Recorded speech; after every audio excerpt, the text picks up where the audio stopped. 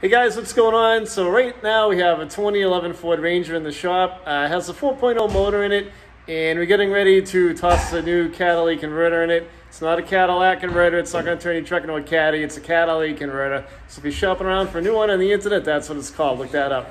Before we get started, remember to subscribe to the channel, ring the bell, and subscribe to all of our notifications. That way, you'll get a heads up when we upload a new video. All right, Steve. So uh, we are for a fall cold. How do we know that the uh, catalytic's bad in this thing? So we have a code PO430 catalytic system efficiency below threshold bank two. We've tuned the motor.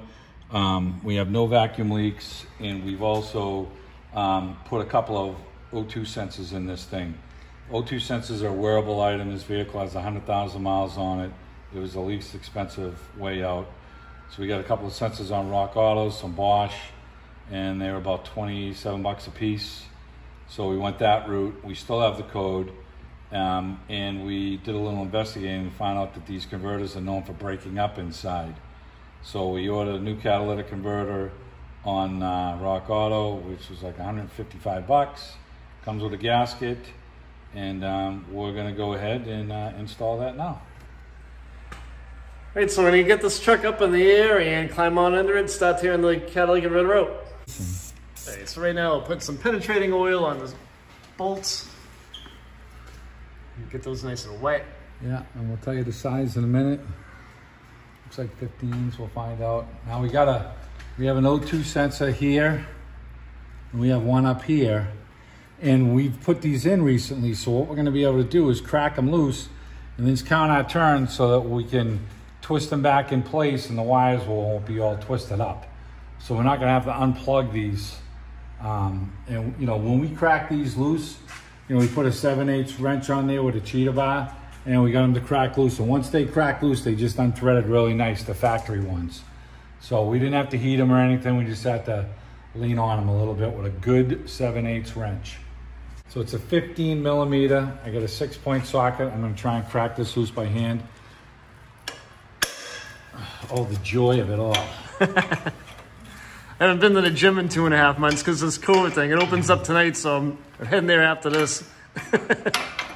I need to put some muscle behind those.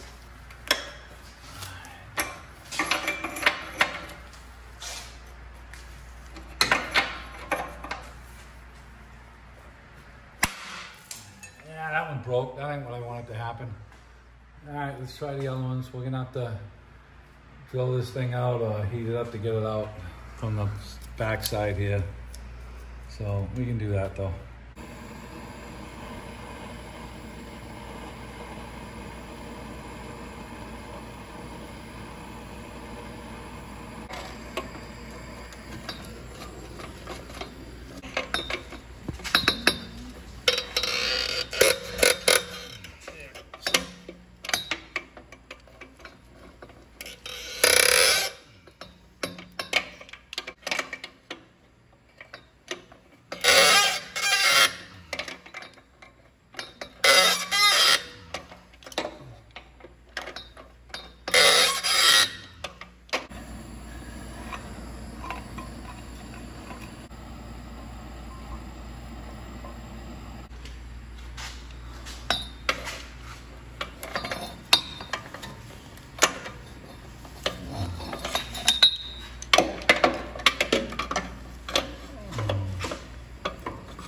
I'm going up that way.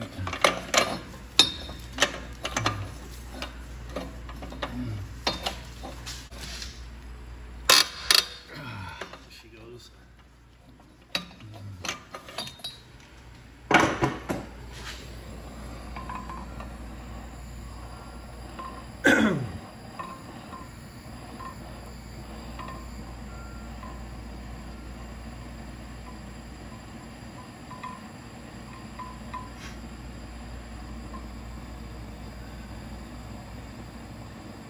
Plus the battery guy's not the flashlight We're battery. a just- winning streak tonight, guys. Yeah, how about that? What do you wait for?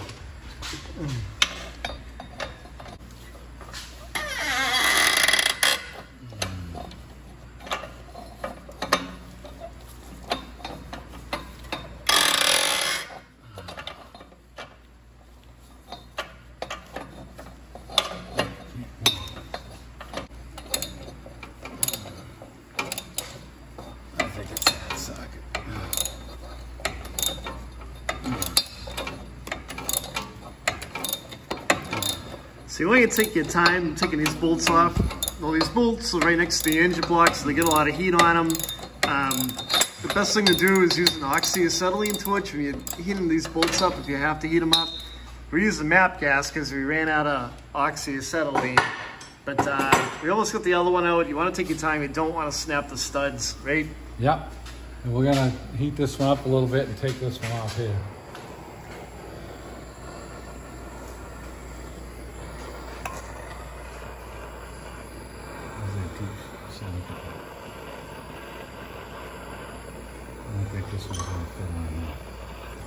Broke one, and we don't want to break another one. So we got three out of four.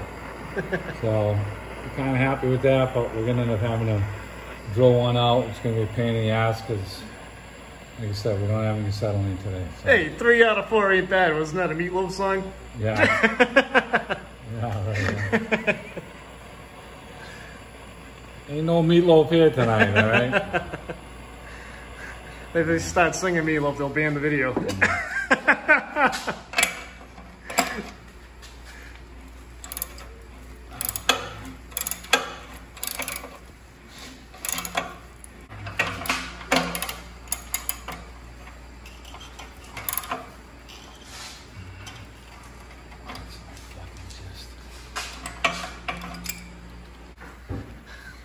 So we're using the Sawzall to take this off. What happened was when we were taking the bolt off of the stud, uh, heating it up, it ended up stripping the threads on the stud. Uh, if we had acetylene, an oxyacetylene set up, probably would have been less likely for that to have happened. Uh, but we ran out of gas, so this is the point right now. These are gonna come right out. We're gonna crack them loose. This one here, and this one up here. And we're just gonna twist them back and then make sure the wires are not bound up when we go to put it back on.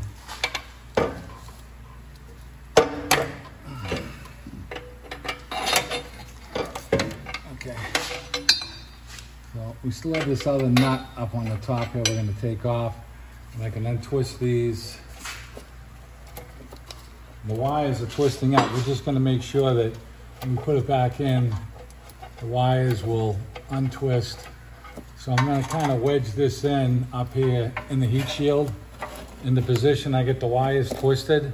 You see them all twisted. When I set it back in the new converter and I let it go, the wires will unwind the right way.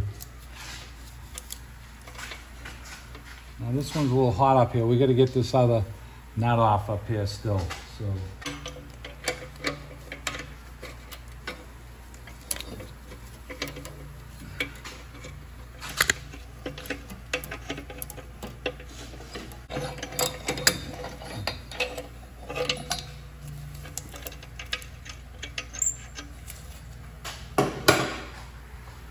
All right, we're gonna untwist this one.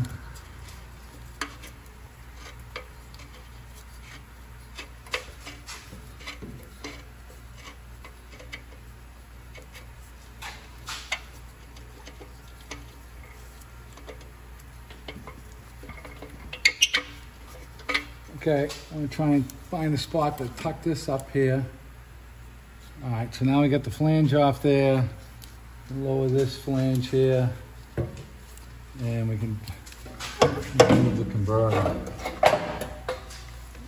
So this is what the whole assembly looks like when you take it out. Like I said, there's two bolts up here.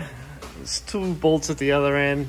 That's the O2 sensor goes, the other hole on here. That's it. It's not a very big piece. We got the new one here to match up. And some plugs to take out of this one. We'll remove them and we're gonna remove that stud in a minute. These are dummy plugs that they just put in for the O2 sensors so the threads won't get damaged.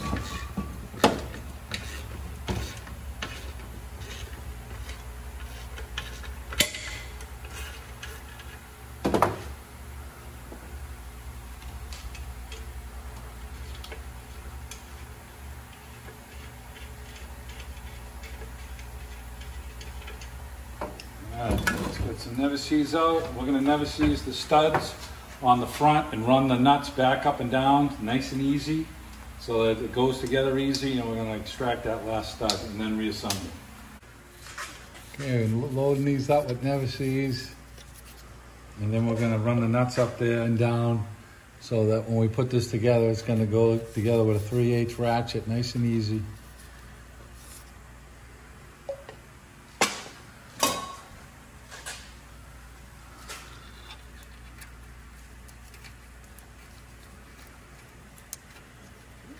Make sure we start nice and easy.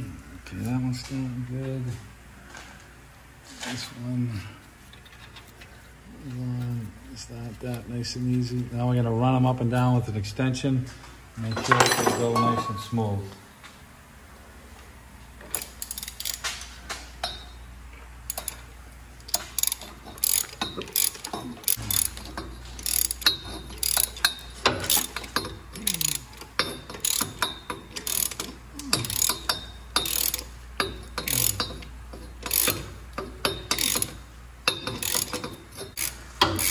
It's three to five minutes doing this, or an hour and a half screwing, fixing up the screw up.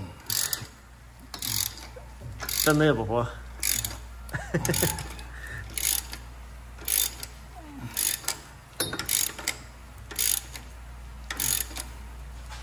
All right, so unfortunately, the bolts broke in uh, the other catalytic converter, so there's two studs sticking out.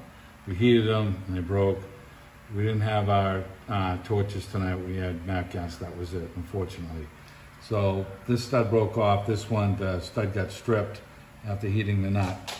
So on the back side, they have these bosses welded on, and you think they're just pressed into the pipe. And when we cut them flush in the front here, we couldn't press them out. So we ground them down and unfortunately had to drill these out.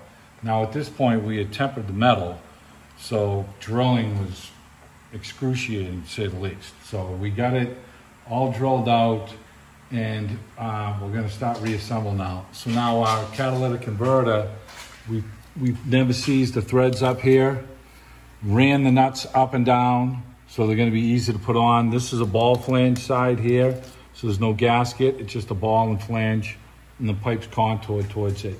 We have a gasket on this side. So we're gonna slide the pipe up in place, catch the nuts, and then we'll put our gaskets and hardware in the back side here, and then we'll thread the O2 sensors in. Okay, so we matched up our converter with the other one. We know it's the right one. And we're gonna slide this up into place. So we have to set the pipe up on an angle like this to get it to go into place. Otherwise it was hitting the cross member. It's a little tricky to get in. Once we get it up in place, we wanna line up our flanges. Now the flanges are hitting the boss on the knock sensor, so it's not as easy as I was hoping to pop this thing in. Okay. Okay.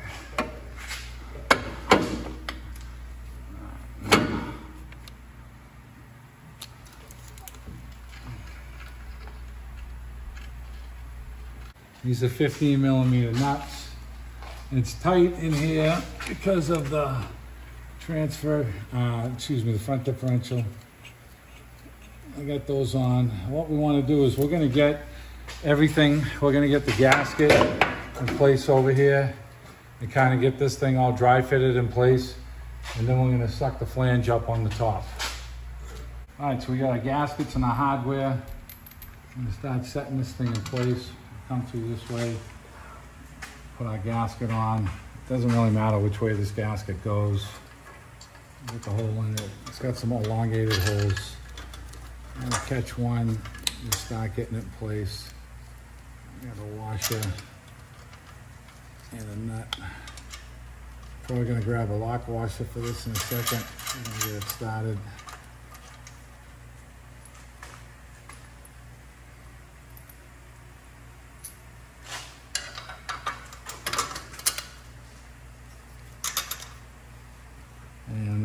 couple lock launches.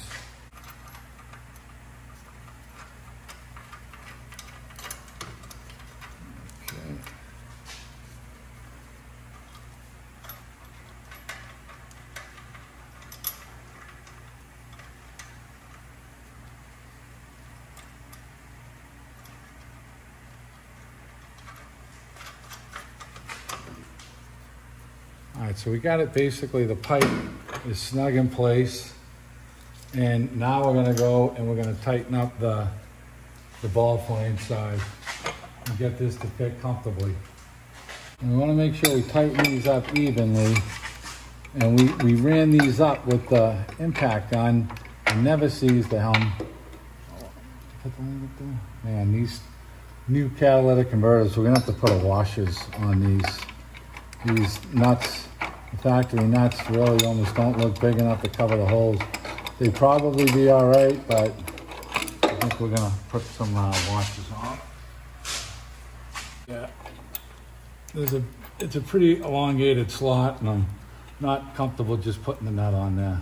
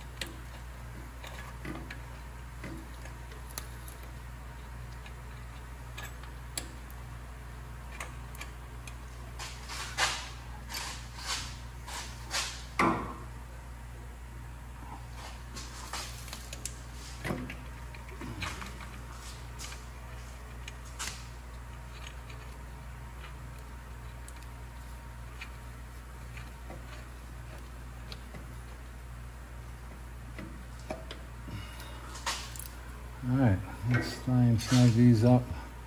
I have a swivel and a shallow 15. Let's see if I can run it up as much as I can with this, see if it makes it a little easier.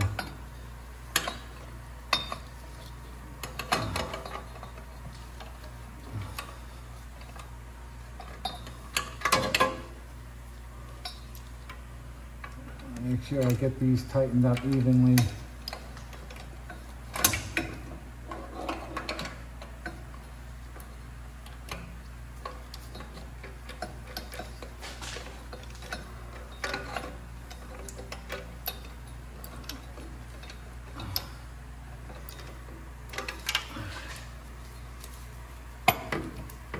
Still got a little room in the pipe to move.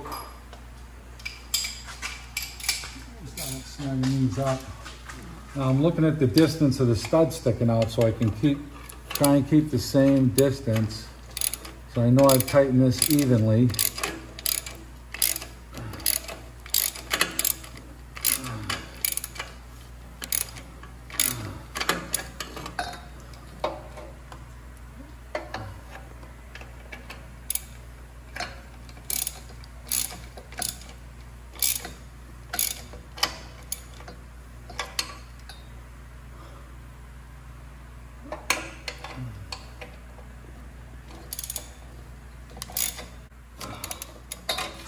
Okay, so this flange is tight right now. I'm just gonna tighten it up with the deep 15 millimeter. We put some washers on there, like I said, to take up for the flange. And if Tony can look at the light, we have the same distance that we have on the studs coming out. And that's important to make sure that you have an even seat on your ball flange so you don't have an exhaust leak.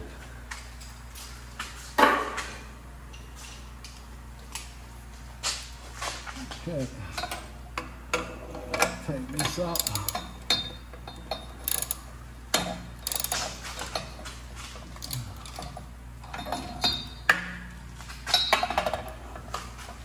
Not the easiest place to get in here. Need little more light, buddy. Need a little more light.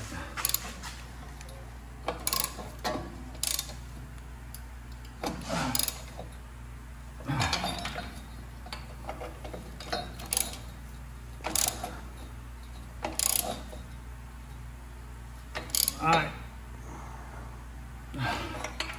Not the gorilla run, but just make sure that they're tight. Okay. Okay. That's firm.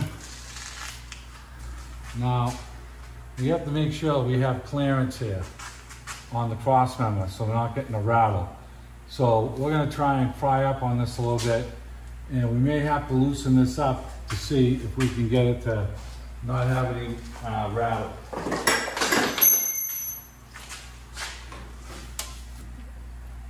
Okay, still had some wiggle room with the ball flange here. Now I have good clearance here. I have clearance everywhere, my drive shaft. Want to make sure you don't have any rattles. Now this is an aftermarket catalytic converter. It may not fit exactly perfect, so it's kind of up to you, the consumer, to try and help it make it fit. Now we compared it to the other one and it was pretty damn close. So, but we have good clearance now, just like we had with the Ford, with the OEM one. Um, so we are tight up top. We're gonna tighten these up and we're gonna thread our knock sensors in.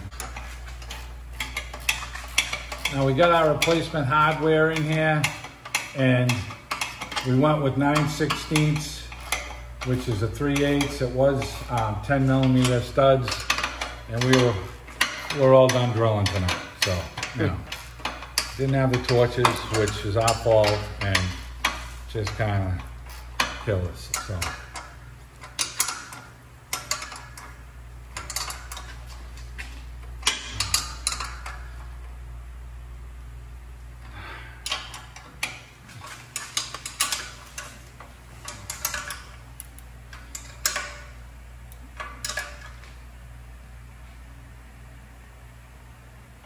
Okay. All right, this is nice and secure. We're gonna thread our knock sensors back in. Now we talked about our knock sensors being twisted up. We tucked it up in the panel. So it's twisted counterclockwise. Now we're gonna set it into the hole and we wanna thread this back in here. Nice and easy. And as we're doing it, we're straightening out our harness.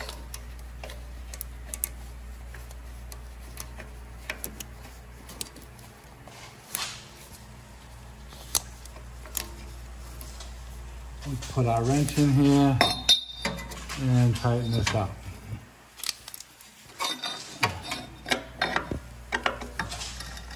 Move the camera, move your phone. Okay, that one's in it tight. We get the harness comfortable. There it is. It's not all twisted up. Heat shields on it. We never have to unplug the top of it, fortunately. Now we're gonna do the same thing with this one. We've got tucked up in up here.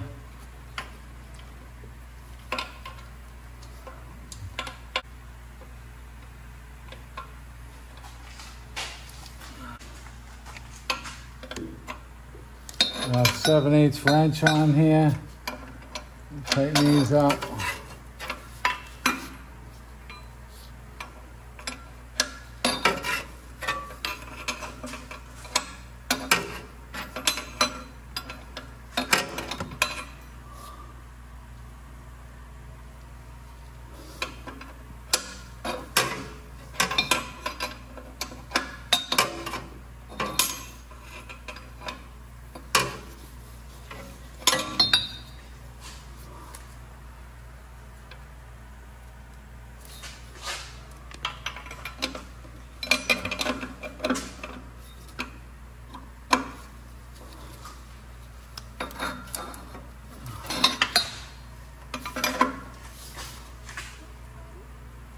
Okay, that's all snugged up. My harness looks good. Okay. All right, we cleared our code before. We're just gonna fire this up, make sure we have no exhaust leaks. Okay, so we have no exhaust leaks around here at all. And we've got no leaks up around here. Okay. That should do it. We got good clearance on everything, so we'll have no rattles and that's the end.